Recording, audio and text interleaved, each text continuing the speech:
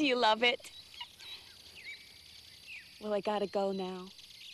And Joe, don't misunderstand.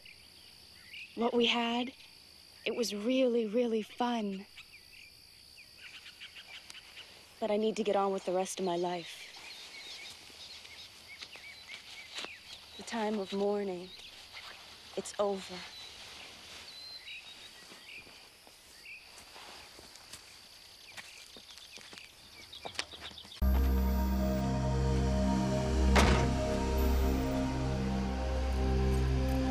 Hey, boys.